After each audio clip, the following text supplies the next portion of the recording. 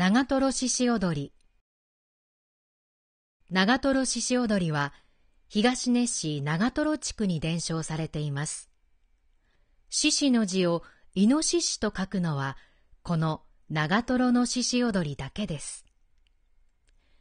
この民族芸能は江戸時代前期に長瀞獅子踊りに関わる記録があったと伝えられていますが山寺立石寺を開いた自覚大師円仁に感謝するために始めたとも伝えられており起源はどこまで遡れるか定かではありません。長源寺で南無阿弥陀仏を十回唱える十年を授かって頭に精霊を入れてから踊り始めることが復活しました。毎年4月初旬に比叡神社の祭典で奉納しています。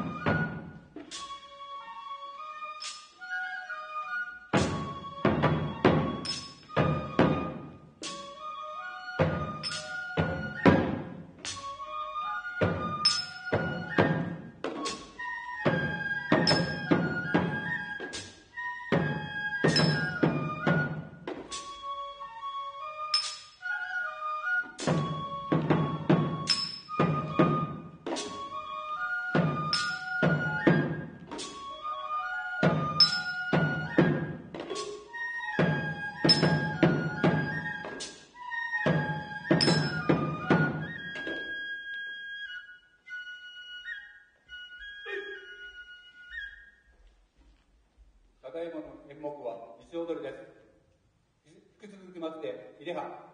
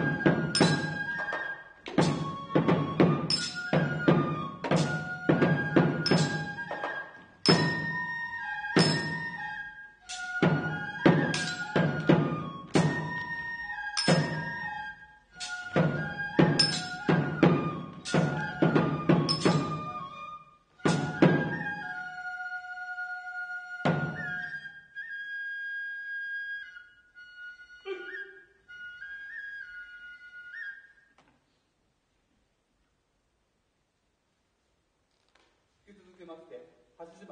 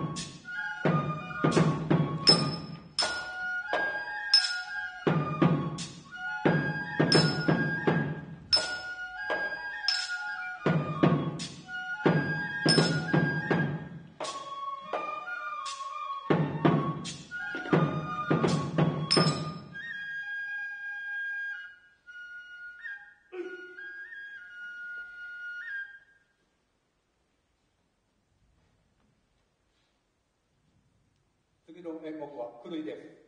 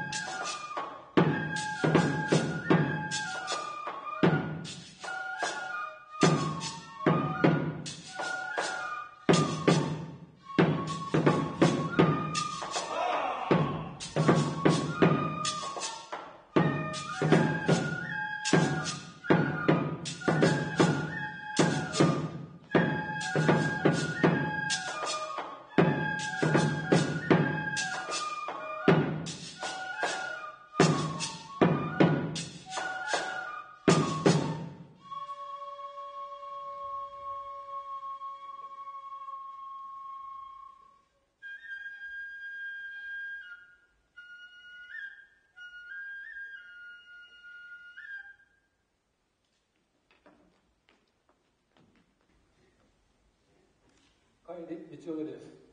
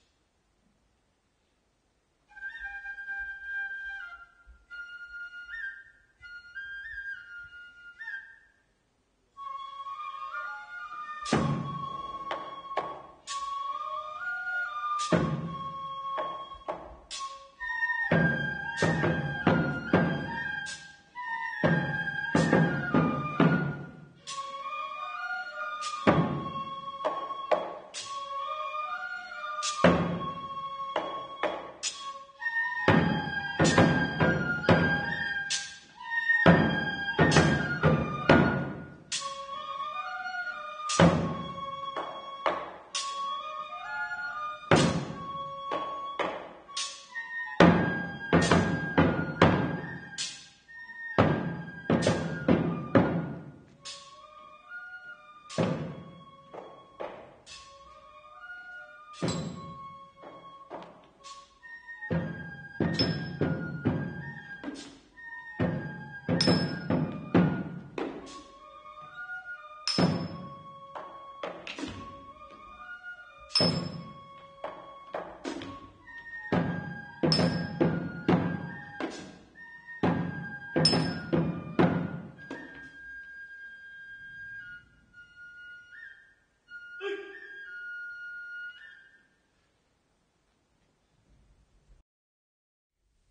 和を大切にしていくことだと思っております。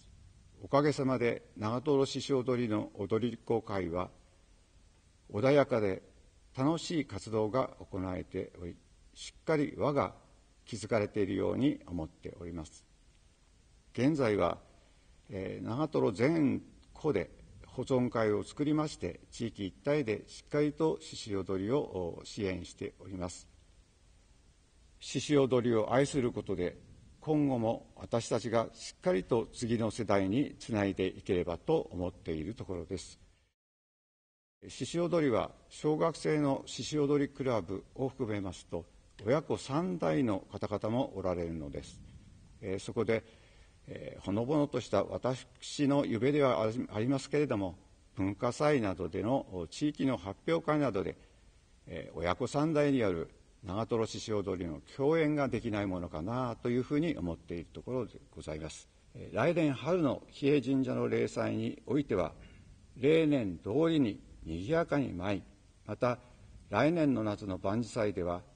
高玉や沢渡地区などの獅子舞の仲間と共に再び獅子踊りの共演ができることを強く願うものであります。今後ともこの素晴らしい事業の継続開催をお願いしたいと思っております。